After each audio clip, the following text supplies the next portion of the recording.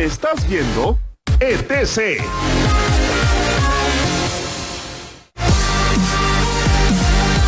Ya estamos de vuelta en tu canal favorito, ETC.